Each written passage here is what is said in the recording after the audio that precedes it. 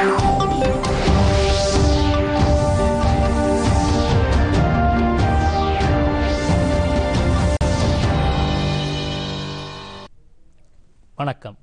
பொதுகையின் செய்திகளுக்காக சங்கர் தலைப்புச் செய்திகள்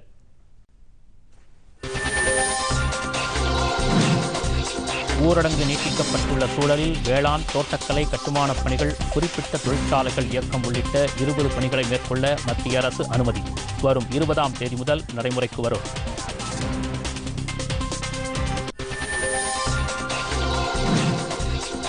பிரதமர் நரேந்திர மோடி தலைமையில் இன்று மாலை மத்திய அமைச்சரவைக் கூட்டம் முக்கிய முடிவுகள் எடுக்கப்படும் என தகவல்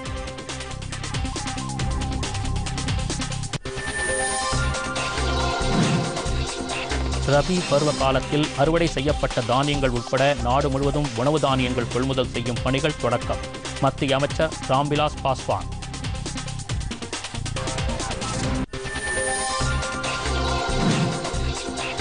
இந்தியாவில் கொரோனா தொற்றால் உயிரிழந்தோர் எண்ணிக்கை முன்னூற்று எழுபத்தி ஏழாக உயர்வு தமிழகத்தில் பாதிக்கப்பட்டோர் எண்ணிக்கை ஆயிரத்து இருநூறை கடந்தது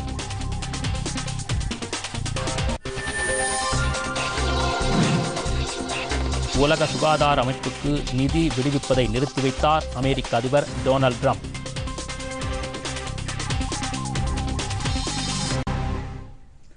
விரிவான செய்திகள்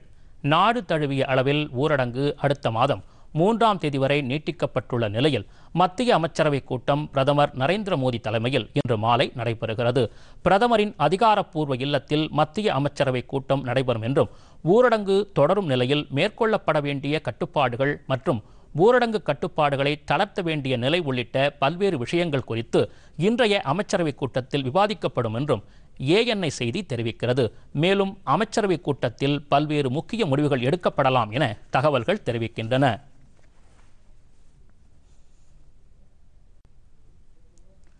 நாடு முழுவதும் அடுத்த மாதம் மூன்றாம் தேதி வரை ஊரடங்கு நீட்டிக்கப்பட்டுள்ள நிலையில் வேளாண் பணிகள் குறிப்பிட்ட தொழிற்சாலைகளின் செயல்பாடுகளை மேற்கொள்வது உள்ளிட்ட இருபது பணிகளை தொடர மத்திய அரசு அனுமதி வழங்கியுள்ளது வரும் இருபதாம் தேதி முதல் இந்த அனுமதி நடைமுறைக்கு வரும் என உள்துறை அமைச்சகம் வெளியிட்டுள்ள அறிக்கையில் தெரிவிக்கப்பட்டுள்ளது வரும் இருபதாம் தேதிக்கு பின்னர் மக்கள் நெருக்கம் குறைவாக உள்ள தொலைதூர பகுதிகளில் செயல்படும் தொழிற்சாலைகள் இயங்க அனுமதிக்கப்படுகிறது கட்டுமான பணிகளை நடத்தவும் வேளாண் தொடர்பான அனைத்து பணிகளையும் தொடங்குவதற்கும் உள்துறை அமைச்சகம் அனுமதி வழங்கியுள்ளது என்றாலும் பொது போக்குவரத்து தொடர்ந்து நிறுத்தப்பட்டிருக்கும் ஏற்கனவே நடைமுறையில் உள்ள இறுதிச் சடங்கில் இருபது பேருக்கு மட்டுமே அனுமதி மத அடிப்படையிலான நிகழ்வுகளுக்கு தடை வழிபாட்டு தலங்கள் மூடல் போன்ற நடைமுறைகள் தொடரும் அத்தியாவசிய பணிகளை மேற்கொள்ளும் அரசு அலுவலகங்கள் மட்டும் இயங்குவதற்கு அனுமதி வழங்கப்பட்டுள்ளது இந்த பணிகளில் ஈடுபடுவோர் மற்றும் பொதுமக்கள் கட்டாயம் முகக்கவசம் அணிய வேண்டும் என்று அரசு அறிவுறுத்தியுள்ளது தகவல் தொழில்நுட்ப நிறுவனங்கள் ஐம்பது சதவீத ஊழியர்களுடன் இயங்கலாம் மின்சாதனங்கள் பழுது நீக்குவோர் குழாய் வேலைகள் செய்வோர் தச்சு வேலை செய்வோர் தங்கள் பணிகளை மேற்கொள்ளலாம் என உள்துறை அமைச்சக அறிவிப்பில் தெரிவிக்கப்பட்டுள்ளது மேலும் கொரோனா தொற்று தடுப்பு நடவடிக்கையின் ஒரு பகுதியாக பொது இடங்களில் எச்சில் துப்பினால் ஐநூறு ரூபாய் அபராதம் வசூலிக்க உத்தரவிடப்பட்டுள்ளது ஏப்ரல் இருபதாம் தேதிக்கு பின்னர் மகாத்மா காந்தி தேசிய ஊரக வேலை உறுதி திட்டத்தின் கீழ் பணிகளை மேற்கொள்ள அனுமதி அளிக்கப்பட்டுள்ளது எனினும் தொற்று அதிகம் பாதிக்கப்பட்டுள்ள பகுதிகள் கண்காணிப்புக்கு உட்படுத்தப்பட்டு அவை சீல் வைக்கப்படும் என்றும் தெரிவிக்கப்பட்டுள்ளது அந்த பகுதிகளிலிருந்து மக்கள் வெளியே வரவோ வெளியாட்கள் வெளியே செல்லவோ தடை விதிக்கப்படுவதாக தெரிவிக்கப்பட்டுள்ளது விதிவிலக்கு அளிக்கப்பட்டுள்ள தொழில் நிறுவனங்களை தவிர மற்ற நிறுவனங்கள் இயங்குவதற்கு அனுமதி இல்லை என்றும் உள்துறை அமைச்சகத்தின் வழிகாட்டு விதிமுறைகளில் தெரிவிக்கப்பட்டுள்ளது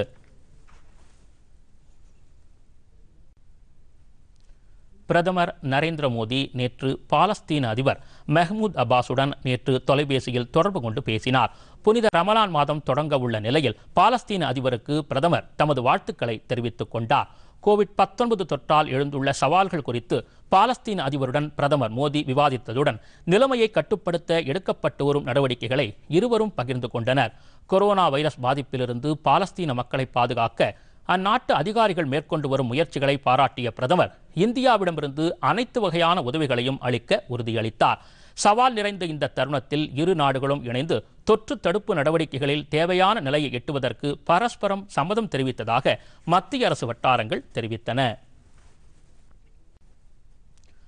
மகாராஷ்டிர மாநிலம் மும்பையில் ஊரடங்கு உத்தரவை மீறி ஏராளமான தொழிலாளர்கள் கூட்டமாக திரண்டது குறித்து அம்மாநில முதலமைச்சர் உத்தவ் தாக்கரேயுடன் உள்துறை அமைச்சர் அமித்ஷா தொலைபேசியில் தொடர்பு கொண்டு கவலை தெரிவித்தார் ஊரடங்கை மீறும் வகையில் நூற்றுக்கணக்கான தொழிலாளர்கள் திரண்டதுடன் அவர்கள் தங்களின் சொந்த மாநிலங்களுக்கு திரும்ப வலியுறுத்தி நேற்று ஆர்ப்பாட்டத்தில் ஈடுபட்டனர் இந்த சம்பவம் குறித்து பேசிய அமித்ஷா இதுபோன்ற செயல்பாடுகள் கொரோனா தொற்றுக்கு எதிரான மத்திய அரசின் போராட்டத்தை பலவீனம் அடையச் செய்யும் என்றும் இத்தகைய சம்பவங்களை கண்டிப்புடன் தவிர்க்க மாநில அரசு நடவடிக்கை எடுக்க வேண்டும் என்றும் வலியுறுத்தியதாக உள்துறை அமைச்சக அதிகாரிகள் தெரிவித்தனர் பல்வேறு மாநிலங்களைச் சேர்ந்த தொழிலாளர்கள் ஊரடங்கு நீட்டிப்பு அறிவிப்பு வெளியானவுடன் பாந்த்ரா பகுதியில் திரண்டு தங்கள் சொந்த ஊர்களுக்கு திரும்புவதற்கு நடவடிக்கை எடுக்குமாறு ஆர்ப்பாட்டத்தில் ஈடுபட்டதுடன் காவல்துறையினருடன் வாக்குவாதத்திலும் ஈடுபட்டனர் இதையடுத்து லேசான தடியடி நடத்தி தொழிலாளர்கள் கலைக்கப்பட்டது குறிப்பிடத்தக்கது மத்திய சுகாதாரம் மற்றும் குடும்ப நலத்துறை அமைச்சர் ஹர்ஷ்வர்தன் பல்வேறு தொழிலதிபர்களுடன் காணொலி காட்சி மூலம் ஆலோசனை நடத்தினார் இந்திய தொழில் கூட்டமைப்பு சார்பில் ஏற்பாடு செய்யப்பட்ட இந்த நிகழ்ச்சியில் சிஐஏ தலைவர் விக்ரம் கிரிலோஸ்கர் மற்றும் அந்த அமைப்பின் பல்வேறு நிர்வாகிகள் கலந்து கொண்டனர் மஹேந்திரா அண்ட் மஹிந்திரா உள்ளிட்ட தொழில் நிறுவனங்களின் தலைவர்களும் பங்கேற்ற இந்த கூட்டத்தில் கோவிட் பத்தொன்பது தொற்று பாதிப்பால் தொழில் நிறுவனங்களில் எழுந்துள்ள சூழல் மற்றும் மத்திய அரசு அறிவித்துள்ள நிவாரண நடவடிக்கைகள் குறித்து அமைச்சர் விரிவாக எடுத்துரைத்தார் சுகாதாரத்துறையில் எழுந்துள்ள பல்வேறு பிரச்சனைகள் மற்றும் தடையின்றி பொருட்கள் கிடைப்பதை உறுதி செய்வது தொடர்பான முக்கிய விஷயங்கள் விவாதிக்கப்பட்டதாக மத்திய அரசு தெரிவித்துள்ளது நாட்டின் பொருளாதாரம் மறு உத்வேகம் பெறுவதற்கு எடுக்கப்பட்டு வரும் நடவடிக்கைகள் மருந்து நிறுவனங்களுக்கான கச்சா பொருட்கள் தொலை மருத்துவ வசதிகள் சுகாதார முன்னெச்சரிக்கை நடவடிக்கைகள் போன்ற பல்வேறு விஷயங்கள் குறித்து அரசின் கவலைகள் எடுத்துரைக்கப்பட்டதாகவும் மத்திய அரசு தெரிவித்துள்ளது தற்போதைய சவால் நிறைந்த சூழலில் மீண்டெழுந்து வரவேண்டியது அவசியம் என்று அமைச்சர் ஹர்ஷ்வர்தன் கூறினார் நவீன உலகின் வரலாற்றில் தற்போது மிக மோசமான நிலை ஏற்பட்டுள்ளதாகவும் அதனை முறியடிக்க தொழில்துறையினரின் பங்கு அவசியம் என்றும் ஹர்ஷ்வர்தன் குறிப்பிட்டார் கோவிட் பத்தொன்பது தொற்று தடுப்புப் பணிகளில் தீவிரமாக ஈடுபட்டுள்ள மத்திய பாதுகாப்பு ஆராய்ச்சி மற்றும் மேம்பாட்டு நிறுவனத்தின் ஆய்வகம் மேலும் ஒரு இரத்த மாதிரி சேகரிப்பு பிரிவை வடிவமைத்துள்ளது மத்திய தொழிலாளர் ஈட்டுறுதிக் கழக மருத்துவர்களின் ஆலோசனையின் அடிப்படையில் டிஆர்டிஓ ஆய்வகம் இந்த பிரிவை ஏற்படுத்தி இருப்பதாகவும் இதனை கோவிட் பத்தொன்பது தொற்று பரிசோதனைக்காக செல்லும் சுகாதார பணியாளர்கள் பயன்படுத்தலாம் என்றும் தெரிவிக்கப்பட்டுள்ளது தொற்று இருப்பதாக சந்தேகிக்கப்படும் நோயாளிகளின் இரத்த மாதிரிகளை சேகரிக்க டிஆர்டிஓ வடிவமைத்துள்ள பிரிவு உதவும் என்று தெரிவிக்கப்பட்டுள்ளது தொற்று பரவலை தடுக்கும் நடவடிக்கையாக டிஆர்டிஓ இந்த முயற்சியை மேற்கொண்டுள்ளது கையுறையுடன் சுகாதார பணியாளர்கள் இரத்த மாதிரி சேகரிப்பில் ஈடுபடும் போது தொற்று பரவலை தன்னிச்சையாக இந்த பிரிவு தடுக்க ஏதுவாகும் என டிஆர்டிஓ தெரிவித்துள்ளது இதனால் தனிநபர் பாதுகாப்பு கவசங்களின் தேவை குறைய வாய்ப்புள்ளதாகவும் டிஆர்டிஓ கூறியுள்ளது நாடு முழுவதும் ரயில்கள் மற்றும் விமான சேவைகள் மே மூன்றாம் தேதி வரை ரத்து செய்யப்படுவதாக சம்பந்தப்பட்ட அமைச்சகங்கள் தெரிவித்துள்ளன நாடு முழுவதும் அடுத்த மாதம் மூன்றாம் தேதி வரை ஊரடங்கை நீட்டித்து பிரதமர் நரேந்திர மோடி அறிவித்ததைத் தொடர்ந்து ஏற்கனவே பதினான்காம் தேதி வரை ரயில் விமான போக்குவரத்து ரத்து செய்யப்பட்டிருந்த நிலையில் தற்போது அந்த ரத்து மூன்றாம் தேதி வரை நீட்டிக்கப்படுவதாக தெரிவிக்கப்பட்டுள்ளது இது தொடர்பாக ரயில்வே வெளியிட்டுள்ள அறிக்கையில் கொரோனா தொற்றை கட்டுப்படுத்தும் நோக்கில் எக்ஸ்பிரஸ் ரயில்கள் பயணிகள் ரயில்கள் புறநகர் ரயில்கள் உள்ளிட்ட அனைத்து ரயில்களின் சேவைகளும் நாடு முழுவதும் மே மூன்றாம் தேதி இரவு பன்னிரண்டு மணி வரை ரத்து செய்யப்படுவதாக கூறப்பட்டுள்ளது அதே சமயம் அத்தியாவசிய பொருட்கள் மற்றும் தேவையான சரக்கு போக்குவரத்து தொடர்ந்து நடைபெறும் என்றும் ரயில்வே விளக்கம் அளித்துள்ளது மே மூன்றாம் தேதி நள்ளிரவு வரை ரயில்வே பயணச்சீட்டு முன்பதிவு மையங்கள் அனைத்தும் மூடப்பட்டிருக்கும் என்றும் அந்த அறிக்கையில் குறிப்பிடப்பட்டுள்ளது மறு அறிவிப்பு வரும் வரை முன்பதிவு செய்யப்பட மாட்டாது என்றும் ரயில்வே வெளியிட்டுள்ள அறிக்கையில் தெரிவிக்கப்பட்டுள்ளது மே மூன்றாம் தேதி வரை பயணம் செய்வதற்கு இணையதளம் வாயிலாக முன்பதிவு செய்தவர்களின் பயணச்சீட்டுகள் ரத்து செய்யப்பட்டு பயணிகளுக்கு அவர்களின் முழு தொகையும் வங்கிக் கணக்கில் திருப்பிச் செலுத்தப்படும் என்று ரயில்வே நிர்வாகம் கூறியுள்ளது ரயில் நிலையங்களில் உள்ள முன்பதிவு நிலையங்கள் வாயிலாக பதிவு செய்தவர்கள் ஜூலை முப்பத்தோராம் தேதி வரை கட்டணத்தை திரும்ப பெற்றுக்கொள்ளலாம் என்றும் தெரிவிக்கப்பட்டுள்ளது இதேபோல் அனைத்து உள்நாட்டு மற்றும் சர்வதேச விமானங்களும் மே மூன்றாம் தேதி நள்ளிரவு பனிரெண்டு மணி வரை ரத்து செய்யப்படுவதாக சிவில் விமான போக்குவரத்து துறை அமைச்சகம் அறிவித்துள்ளது ஏற்கனவே கடந்த இருபத்தி நான்காம் தேதி இரவு முதல் விமானங்கள் மற்றும் ரயில்கள் ரத்து செய்யப்பட்ட நிலையில் ஊரடங்கு நீட்டிக்கப்பட்டுள்ளதால் அவற்றின் சேவை நிறுத்தி வைப்பு நீட்டிக்கப்பட்டுள்ளது நாடு முழுவதும் அரசின் கட்டுப்பாட்டில் உள்ள கொள்முதல் நிலையங்கள் இன்று முதல் கோதுமை கொள்முதலை தொடங்கியுள்ளன இந்த ஆண்டு பருவம் தவறி மழை பெய்த போதிலும் ரபி பருவ பயிர்கள் போதிய அளவில் விளைச்சலை தந்துள்ளன இதையடுத்து விவசாய பணிகள் தொடர்ந்து நடைபெற மத்திய அரசு அனுமதி அளித்தது விவசாய பணிகளின் போது தனிநபர் இடைவெளி கடைபிடிக்க வேண்டும் என்றும் அறிவுறுத்தப்பட்டது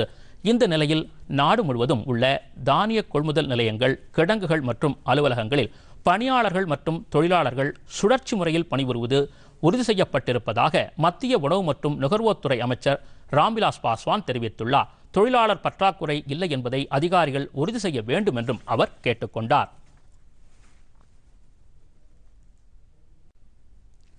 ஊரடங்கு நீட்டிக்கப்பட்டுள்ள நிலையில் மத்திய இடைநிலை கல்வி வாரியமான சிபிஎஸ்இயும் ஃபிட் இந்தியா திட்டமும் இணைந்து மாணவர்களுக்கான முதலாவது உடல் திறன் பயிற்சி வகுப்புகளை இன்று தொடங்கியுள்ளன முகநூல் இன்ஸ்டாகிராம் ஆகிய இணையதளங்கள் மூலமாக மாணவர்கள் இந்த நேரடி பயிற்சி வகுப்புகளில் பங்கேற்க முடியும் மத்திய ஆயுஷ் அமைச்சகம் தெரிவித்துள்ள வழிமுறைகளின்படி இந்த பயிற்சி வகுப்புகள் நடத்தப்பட்டு மாணவர்களின் ஆரோக்கியம் பாதுகாக்கப்படுவதாக மத்திய அரசு தெரிவித்துள்ளது ஊரடங்கு நீட்டிக்கப்பட்டுள்ள நிலையில் நாட்டு மக்கள் அனைவரும் எதிர்ப்பு சக்தியை அதிகரிப்பதுடன் சுகாதாரமான முறையில் பராமரிக்க வேண்டுமென பிரதமர் நரேந்திர மோடி தமது தொலைக்காட்சி உரையில் கேட்டுக்கொண்டிருந்தார்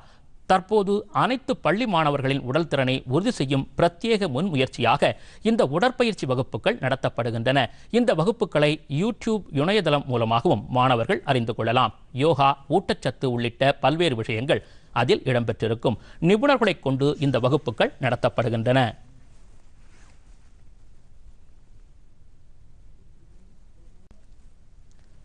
கொரோனா வைரஸ் பாதிப்பு காரணமாக ரஃபேல் போர் விமானங்களை இந்தியாவிற்கு அனுப்பும் பணி சில வாரங்கள் தாமதமாகும் என தகவல்கள் தெரிவிக்கின்றன தற்போது உலகின் பெரும்பாலான நாடுகளில் கொரோனா தொற்று காரணமாக ஊரடங்கு அமலில் உள்ளது இதனால் போக்குவரத்து பெருமளவு முடக்கப்பட்டுள்ளது சுமார் ஆறாயிரம் கோடி ரூபாய் செலவில் முப்பத்தாறு ரஃபேல் விமானங்களை வாங்க பிரான்சிடம் இந்தியா ஒப்பந்தம் செய்துள்ளது ஏற்கனவே விமானப்படை தளபதியாக இருந்த பி எஸ் தனோயா முதல் கட்டமாக பதினேழு விமானங்கள் அடங்கிய தொகுப்பை ஆய்வு செய்து ஒப்புதல் வழங்கினார் தற்போதைய விமானப்படை தளபதி ராகேஷ் குமார் சிங் மற்ற விமானங்களை ஆய்வு செய்து இந்த இந்த ஒப்பந்தத்திற்கு ஒப்புதல் வழங்கினார் இதன்படி மே மாத இறுதியில் ரஃபேல் போர் விமானங்கள் இந்தியா வரவிருந்த நிலையில் ஒரு சில வாரங்கள் தாமதமாக அவை அனுப்பி வைக்கப்படும் என பிரான்ஸ் தெரிவித்துள்ளது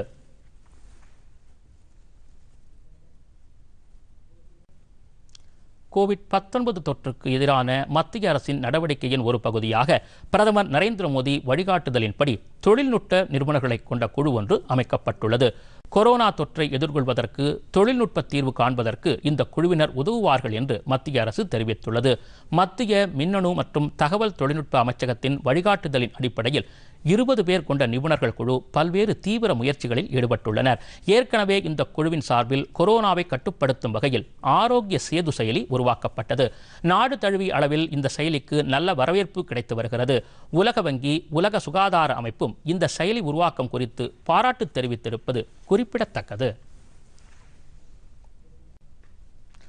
நாடு முழுவதும் கொரோனாவால் பாதிக்கப்பட்டோர் எண்ணிக்கை பதினொன்றாயிரத்து நானூற்று முப்பத்து ஒன்பதாக உயர்ந்துள்ளது உயிரிழப்பை பொறுத்தவரை இந்தியாவில் முன்னூற்று எழுபத்தி ஏழு பேர் என்ற அளவை எட்டியுள்ளது அதிகபட்சமாக மகாராஷ்டிராவில் இரண்டாயிரத்து அறுநூற்று எண்பத்தி ஏழு பேர் பாதிக்கப்பட்டுள்ளனர் இந்த மாநிலத்தில் மட்டும் நூற்று எழுபத்தெட்டு பேர் உயிரிழந்துள்ளனர் அடுத்தபடியாக தலைநகர் தில்லியில் ஆயிரத்து ஐநூற்று அறுபத்தோரு பேர் பாதிக்கப்பட்டு முப்பது பேர் உயிரிழந்துள்ளனர் கொரோனா தொற்று பாதிப்பில் தமிழகம் மூன்றாம் இடத்தில் உள்ளது ஆயிரத்து இருநூற்று நான்கு பேர் பாதிக்கப்பட்டுள்ளனர் இதுவரை பன்னிரண்டு பேர் உயிரிழந்துள்ளனர் ராஜஸ்தானில் தொள்ளாயிரத்து அறுபத்து ஒன்பது பேர் பாதிக்கப்பட்டு மூன்று பேர் உயிரிழந்துள்ளனர் மத்திய பிரதேசத்தில் எழுநூற்று முப்பது பேர் பாதிக்கப்பட்டு ஐம்பது பேர் உயிரிழந்துள்ளனர் தெலுங்கானாவில் அறுநூற்று இருபத்து நான்கு பேர் பாதிப்படைந்துள்ளனர் உயிரிழப்பு பதினேழாக உள்ளது உத்தரப்பிரதேசத்தில் அறுநூற்று அறுபது பேருக்கு தொற்று பாதிப்பு உறுதி செய்யப்பட்டுள்ளது ஐந்து பேர் உயிரிழந்துள்ளனர் குஜராத்தில் அறுநூற்று ஐம்பது பேர் பாதிக்க பாதிக்கப்பட்டு இருபத்தெட்டு பேர் பலியாகியுள்ளனர் ஆந்திர மாநிலத்தில் நானூற்று எண்பத்து மூன்று பேருக்கு தொற்று உறுதி செய்யப்பட்டு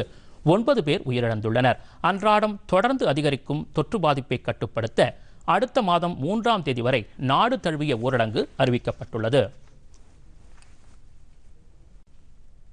நெல்லை அரசு மருத்துவக் கல்லூரி மருத்துவமனையில் கொரோனா தொற்று உறுதி செய்யப்பட்டு சிகிச்சை பெற்று வந்த பதினைந்து பேர் குணமடைந்து நேற்றிரவு வீடு திரும்பினர் அவர்களை மருத்துவமனை ஊழியர்கள் கைத்தட்டி வழியனுப்பி வைத்தனர் நெல்லை மேலப்பாளையம் பாளையங்கோட்டை களக்காடு உள்ளிட்ட பகுதிகளில் இருந்து கடந்த மாதம் முப்பதாம் தேதி பதிமூன்று பேர் பாளையங்கோட்டை அரசு மருத்துவக் கல்லூரி மருத்துவமனையில் அனுமதிக்கப்பட்டு அவர்களுக்கு கொரோனா தொற்று உறுதி செய்யப்பட்டதை அடுத்து அங்கு சிகிச்சை அளிக்கப்பட்டு வந்தது சிகிச்சையில் அவர்களுக்கு கொரோனா தொற்று நீங்கியதை அடுத்து எடுத்து வீடுகளுக்கு அனுப்பி வைக்கப்பட்டனர் இவர்கள் பதிமூன்று பேரும் தங்கள் வீடுகளில் பதினான்கு நாட்கள் தனிமைப்படுத்திக் கொள்ள வேண்டும் என மருத்துவர்கள் அறிவுறுத்தியுள்ளனர் மருத்துவமனையிலிருந்து சென்ற அவர்கள் மருத்துவர்கள் காவல்துறையினர் ஆகியோருக்கு நன்றி தெரிவித்துக் கொண்டனர் தற்போது நெல்லை அரசு மருத்துவமனையில் நாற்பத்தோரு பேர் கொரோனா தொற்று உறுதி செய்யப்பட்டு சிகிச்சை பெற்று வருகின்றனர்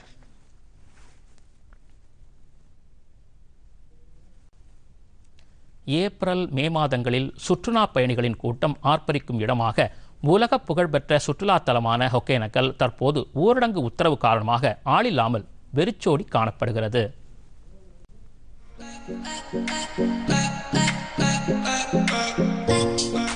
ஊரடங்கால் மூடப்பட்ட சுற்றுலாத்தலமான ஹொகேனக்கல் தற்போது ஆளில்லாமல் வெறிச்சோடி கிடக்கிறது தென்னிந்தியாவின் நயாகரா என்று அழைக்கப்படும் புகழ்பெற்ற ஹொகேனக்கல் சுற்றுலாத்தலம் கொரோனா பாதிப்பு காரணமாக தமிழகத்தில் முதலில் மூடப்பட்ட இடமாகும் இந்தியாவில் முதல் நபருக்கு கொரோனா தொற்று கண்டறியப்பட்ட உடனேயே தருமபுரி மாவட்ட ஆட்சித்தலைவர் எஸ் மலர்விழி ஒகேனக்கலுக்கு சுற்றுலா பயணிகள் வருவது தவிர்க்க வேண்டும் என்றும் தமிழகம் கர்நாடக நீர்வழி எல்லைப்பாதையாக விளங்கும் காவிரி ஆற்றில் பரிசல் இயக்கக்கூடாது என்று தடை விதித்து உத்தரவிட்டார் இதனையடுத்து ஒகேனக்கல் சுற்றுலா தலத்திற்கு சுற்றுலா பயணிகள் யாரும் அனுமதிக்கப்படவில்லை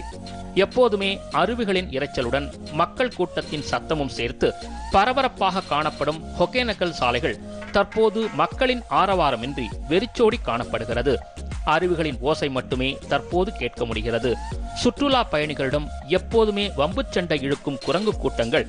தற்போது செய்வதறியாது ஆற்று நீரில் குதித்து விளையாடி வருகிறது மக்கள் கூட்டம் இல்லாத காரணத்தால் குரங்கு கூட்டம் காவிரி ஆற்றில் குதித்து குதித்து நீச்சலடித்து மகிழ்ந்து வருகிறது சுற்றுலா பயணிகள் அன்று செய்ததை இன்று நாங்கள் செய்து வருகிறோம் அவர்கள் சாகசங்கள் செய்ததை நாங்கள் கண்டோம் எங்கள் சாகசத்தை யார் காணப்போகிறார்கள் என்ற உணர்வுடன் சுதந்திரமாக ஆற்றில் குதூகலத்துடன் குளித்து மகிழ்கின்றது இந்த குரங்கு கூட்டம் ஊரடங்கால் மக்கள் அமைதியாக வீட்டில் இருக்க ஹொகேனக்கல் உள்ளிட்ட சுற்றுலா தலங்களில் குரங்குகள் உள்ளிட்ட விலங்குகள் சுதந்திரமாக சுற்றித் திரிகின்றன பொதிகை செய்திகளுக்காக தர்மபுரியிலிருந்து தண்டபாணி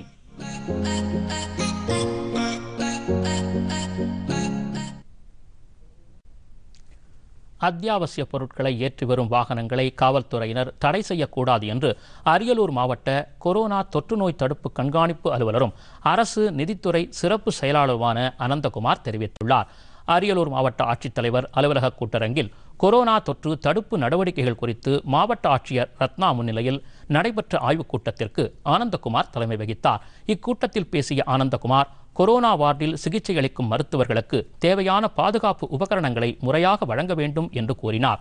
கொரோனா தொற்று உறுதி செய்யப்பட்டவர்களின் குடும்ப தொடர்புகள் மற்றும் தொடர்பில் உள்ளவர்களின் விவரங்கள் தினந்தோறும் சேகரித்து மேல் நடவடிக்கை எடுப்பதை உறுதி செய்ய வேண்டும் என்று அவர் அதிகாரிகளை கேட்டுக்கொண்டார் ஊரடங்கு உத்தரவின் பேரு பொதுமக்கள் வீட்டிலேயே இருப்பதை உறுதி செய்ய நடவடிக்கைகள் எடுக்கப்பட வேண்டும் என்று அவர் கோரினார் அரியலூர் மாவட்டத்தில் சுகாதார பணியில் ஈடுபடும் பணியாளர்களுக்கு தேவையான முகக்கவசங்கள் மகளிர் சுய உதவி குழுக்கள் மூலம் தயார் செய்யப்பட்டு வருகிறது என்றும் அரியலூர் அரசு மருத்துவமனையில் முன்னெச்சரிக்கை நடவடிக்கையாக இருநூறு படுக்கைகள் கொண்ட வார்டு அமைக்கப்பட்டுள்ளதாகவும் அவர் கூறினார் அத்தியாவசிய பொருட்களை ஏற்றி வரும் லாரிகளில் ஓட்டுநர் உட்பட இரண்டு பேர் மட்டுமே பயணிக்க வேண்டும் என்றும் அரசின் நிதித்துறை சிறப்பு செயலாளர் ஆனந்தகுமார் தெரிவித்தார்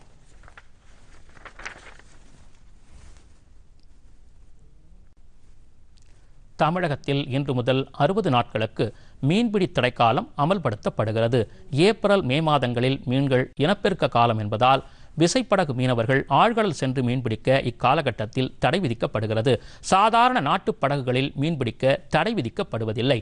தமிழகத்தில் திருவள்ளூர் மாவட்டத்தின் நகர எல்லை முதல் கன்னியாகுமரி மாவட்டத்தின் நகர எல்லை வரை இந்த தடை அமலில் உள்ளது இந்த ஆண்டு கொரோனா தொற்று தடுப்பு நடவடிக்கை காரணமாக மார்ச் இருபத்தி ஏழாம் தேதி முதல் மீனவர்கள் தங்களது தடைக்காலத்தை குறைக்க வேண்டும் என கோரிக்கை விடுத்துள்ளனர் இதுகுறித்து அரசு பரிசீலித்து வருவதாக தகவல்கள் தெரிவிக்கின்றன தூத்துக்குடியில் மீனவர்களின் விசைப்படகுகள் கடலுக்கு செல்லாமல் கரையில் வைக்கப்பட்டுள்ளதாக எமது செய்தியாளர் தெரிவிக்கிறார்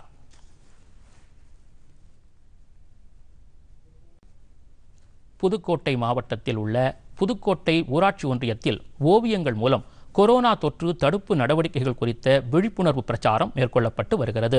இதன்படி வடவாளம் சாலைகளில் சுற்றித் தீர்ந்தவர்களை அழைத்துச் சென்ற பஞ்சாயத்து தலைவர் வீட்டில் இரு தனித்திரு கொரோனாவை ஒழிப்போம் என்று உறுதிமொழி ஏற்கும்படி செய்தார் புதுக்கோட்டை முழுவதும் அந்தந்த பஞ்சாயத்துகளில் கிருமி நாசினி தெளிக்கப்பட்டு வருகிறது அதேபோன்று வடவாளம் ஊராட்சி கிராமம் முழுவதும் கிருமி நாசினி தெளிக்கப்பட்டது வடவாளம் தேசிய நெடுஞ்சாலையில் கொரோனாவை சித்தரிக்கும் ஓவியம் வரையப்பட்டது அப்போது அங்கு சாலைகளில் இருசக்கர வாகனங்களில் வந்தவர்களை தடுத்து நிறுத்திய ஊராட்சி மன்ற தலைவர் பின்னர் கொரோனா தொற்று ஓவியத்தை சுற்றி நிற்க வைத்து உறுதிமொழி ஏற்கும்படி செய்தார் பின்னர் அவர்கள் வீட்டிற்கு அனுப்பி வைக்கப்பட்டனர்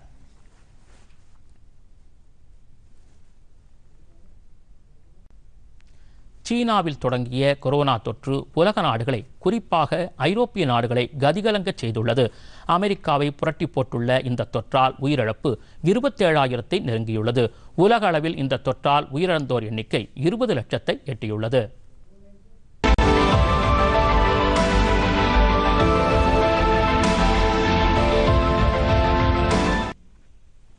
உலகம் முழுவதும் கொரோனா தொற்றால் பாதிக்கப்பட்டோர் எண்ணிக்கை இருபது லட்சத்தை எட்டியுள்ளது நேற்று ஒரே நாளில் பல்வேறு நாடுகளிலும் இந்த தொற்றால் எழுபத்தோராயிரத்து எழுநூற்று எழுபத்து ஒன்பது பேர் பாதிக்கப்பட்ட நிலையில் மொத்த எண்ணிக்கை பத்தொன்பது லட்சத்து தொன்னூற்று ஒன்பதாயிரத்து எழுநூற்று தொன்னூற்று இரண்டாக அதிகரித்திருப்பது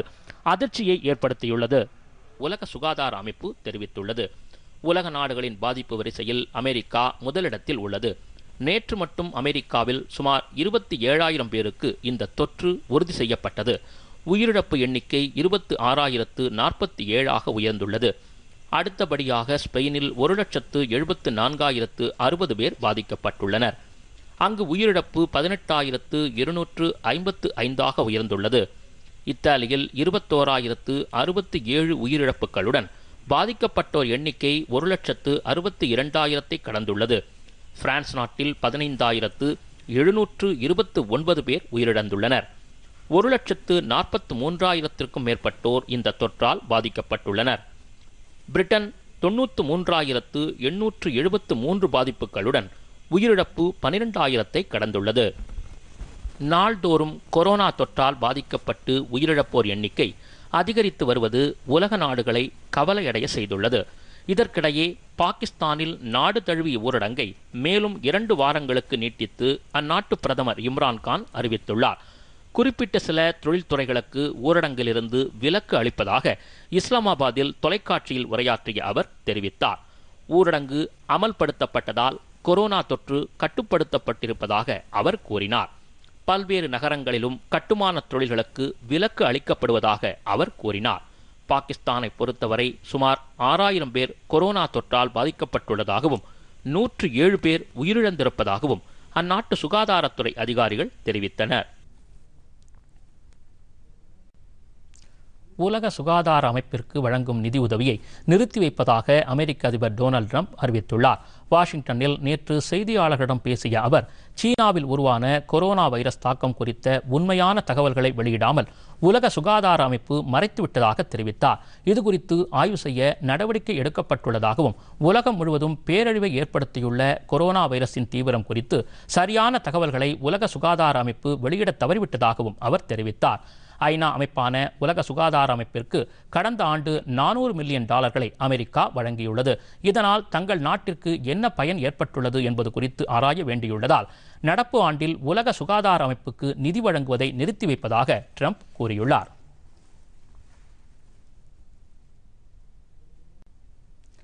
அமெரிக்காவில் ஹெச் ஒன் பி விசா மூலம் பணியாற்றி வருபவர்களுக்கு விசா காலத்தை நீட்டித்து அந்நாட்டு அரசு உத்தரவிட்டுள்ளது கொரோனா வைரஸ் காரணமாக அந்நாட்டில் மிகப்பெரிய பேரழிவு ஏற்பட்டுள்ளது இந்நிலையில் அங்கு ஹெச் ஒன் பி பணி விசா மூலம் தங்கியுள்ளவர்கள் தங்களது விசா காலத்தை நீட்டிக்க கோரி விண்ணப்பம் வழங்கியுள்ளனர் இதனை ஏற்றுள்ள அமெரிக்க வெளியுறவுத்துறை அமைச்சகம் விண்ணப்பித்த அனைவருக்கும் கால நீட்டிப்பு வழங்கப்பட்டுள்ளதாக அறிவிப்பு வெளியிடப்பட்டுள்ளது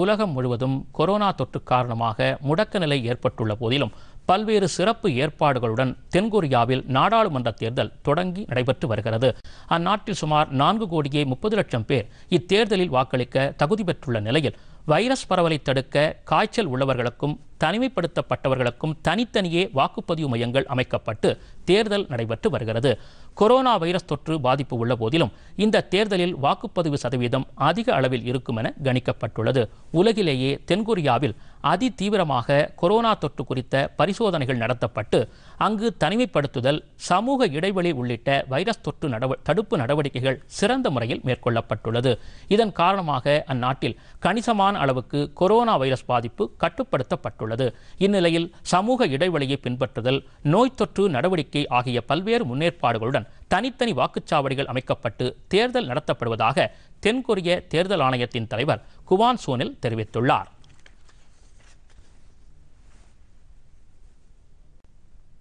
தமிழகம் மற்றும் புதுச்சேரியில் இன்று பெரும்பாலான இடங்களில் வறண்ட வானிலையே நிலவும் என வானிலை ஆய்வு மையம் கணித்துள்ளது சென்னையை பொறுத்தவரையில் காலை நேரங்களில் வானம் மேகமூட்டத்துடன் காணப்படும் என்றும் பகல் நேரத்தில் வறண்ட வானிலையே நிலவும் என்றும் தெரிவிக்கப்பட்டுள்ளது அதிகபட்ச வெப்பநிலை முப்பத்து ஐந்து டிகிரி செல்சியஸாகவும் குறைந்தபட்ச வெப்பநிலை இருபத்து ஐந்து டிகிரி செல்சியஸாகவும் இருக்கும் என அந்த மையத்தின் அறிக்கை தெரிவிக்கிறது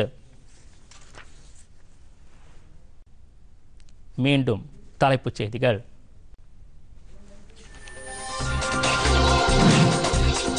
ஊரடங்கு நீட்டிக்கப்பட்டுள்ள சூழலில் வேளாண் தோட்டக்கலை கட்டுமானப் பணிகள் குறிப்பிட்ட தொழிற்சாலைகள் இயக்கம் உள்ளிட்ட இருபது பணிகளை மேற்கொள்ள மத்திய அரசு அனுமதி வரும் இருபதாம் தேதி முதல் நடைமுறைக்கு வரும்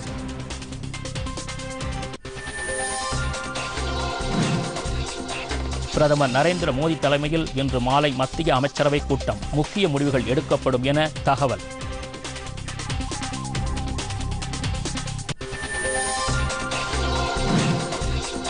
ரவி பருவ காலத்தில் அறுவடை செய்யப்பட்ட தானியங்கள் உட்பட நாடு முழுவதும் உணவு தானியங்கள் கொள்முதல் செய்யும் பணிகள் தொடக்கம் மத்திய அமைச்சர் ராம்விலாஸ் பாஸ்வான்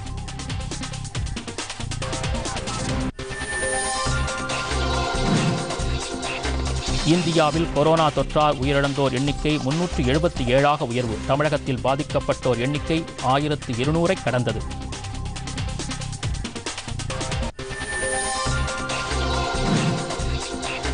உலக சுகாதார அமைப்புக்கு நிதி விடுவிப்பதை நிறுத்தி வைத்தார் அமெரிக்க அதிபர் டொனால்டு ட்ரம்ப்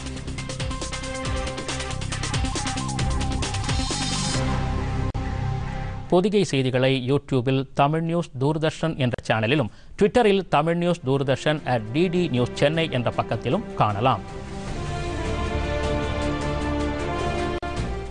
இத்துடன் இந்த செய்தியறிக்கை நிறைவு பெற்றது மீண்டும் செய்திகள் பிற்பகல் இரண்டு மணிக்கு வணக்கம்